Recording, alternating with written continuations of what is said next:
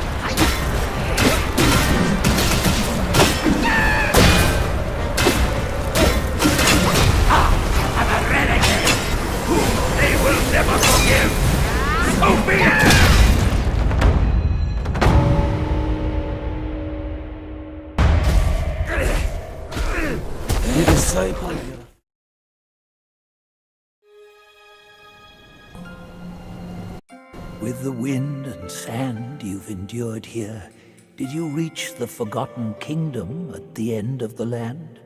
Did you find the clash of stones and the fall of Tiger's acolyte?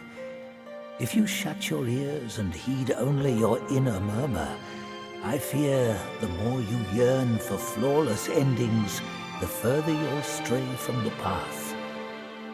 Rats and cats, neither grasped their destiny, and yet neither admitted it. Listen closely, young one.